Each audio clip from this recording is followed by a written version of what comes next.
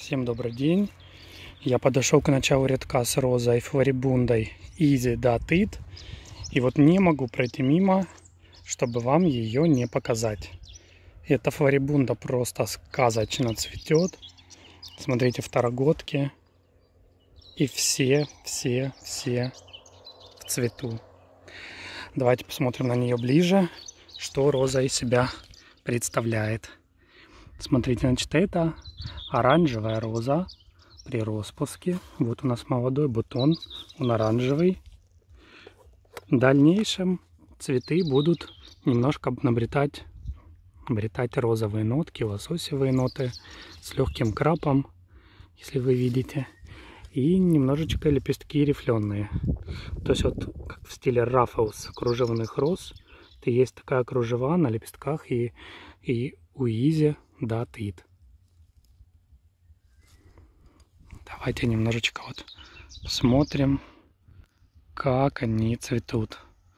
Крупные цветки, махровые, не показывают серединку. Это будет флорибунда высотой 80-100 сантиметров, в ширину сантиметров 70-90. Хорошее волны цветения с промежуточными цветками между ними. Давайте вот немножко пройдемся, посмотрим на розу. Ее никто не чистил. Вот она как начала цветение, так справляется своими силами.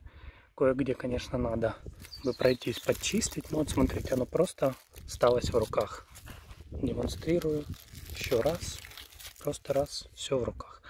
Пимпочка не убралась в этот раз. Убираем сами.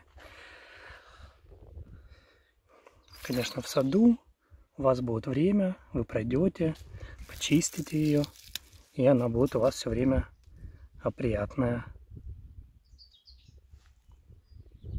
Мне кажется, эта роза заслуживает внимания всех, потому что она подойдет и на передний план, и в основной розарий.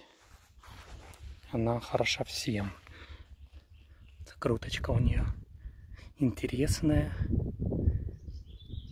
пропеллером. И приятный лососевый цвет после. Поэтому все, кто ищет розу с обильным цветением, обязательно обращайте внимание на флорибунду Изи Датит. Эта роза действительно может вас порадовать прекрасным цветением на протяжении всего сезона. Спасибо за просмотр. Всем приятного дня. До свидания.